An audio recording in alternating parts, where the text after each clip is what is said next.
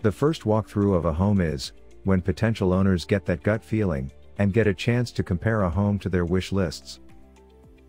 While you'll know if a potential home meets your basic requirements, from the number of bedrooms to the availability of outdoor space, you won't know every detail of home the first time you view it. Curbed spoke with a home inspector and architects who specialize in home renovation to find out what you should look out for during your first walkthrough or an open house. Use their guidelines to help you make an informed assessment of a home's condition. When you're scoping out a new property, it might be easy to be dazzled by great first impressions.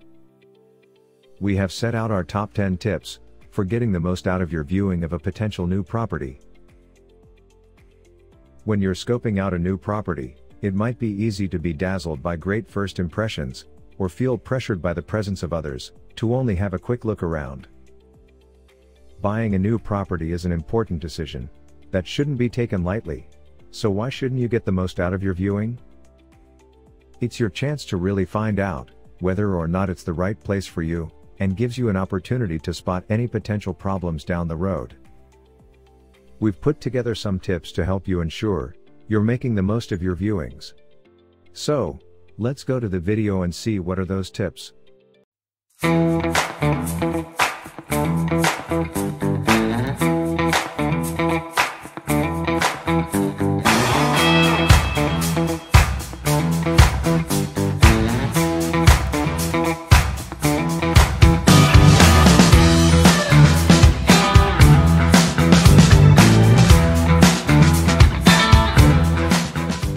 Check for damp. If the house has signs of damp, this can cause significant problems in the future, and lower the overall value of the property. Check for flaky plaster and watermarked walls, especially around ceilings and skirting boards. If a room has been recently repainted, this could be a sign that damp is being covered up. Storage space. Think about all of your furniture and belongings. Does this property look like it has enough room, or will it end up being cluttered and cramped? Practical things such as hoovers and cleaning materials need to go somewhere. Is there space for extra shelving? Room for guests. One of the perks of having your own home is the scope for having friends and family over. Is there a good living room, dining room, or large kitchen?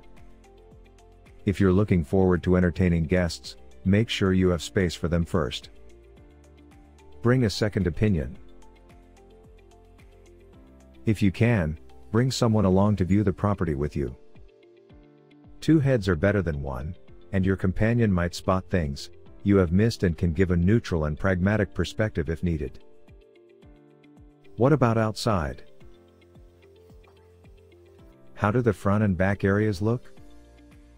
Are the pads cracked, or are things in disrepair? Check the exterior pipe and drainage situation, and make sure that there aren't any potential issues that you may have to face down the line. Take your time. Don't feel pressured by other viewers or the homeowner. This is your chance to see the property for yourself, so take the time to explore everything you can to get a feel for the place, and whether or not you want to live there. Leave time to check out the nearby streets and the local neighborhood for a better overall impression. Ask questions. This is your chance to ask the questions that matter. If the current owner has nothing to hide, it shouldn't be a problem. Bring a list if it will help you remember. Ask everything you can think of, such as why the property is available, how long it's been on the market, what the neighbors are like and how old the roof is. Test things out. Don't be shy to go around and test out the little things, for instance, turn on taps to see how good the water pressure is, open windows to see if they have been fitted properly, and generally have a good poke around. It might seem a little awkward, but the little things also matter. If you're new to the area, it's also a good idea to test how long it might take for you to make the school run, or to get to the nearest transport links. If you can, talk to the neighbors as well, to get a better feeling of the community and atmosphere. Be pragmatic.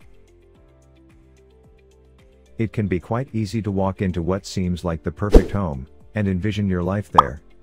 If that happens, half the battle is won. But don't let that stop you from looking for the things that can turn the dream into a nightmare.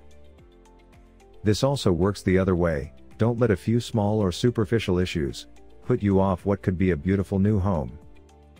If you have a vision and the property seems suitable, you can work through them and create your ideal home. Go back for a second look.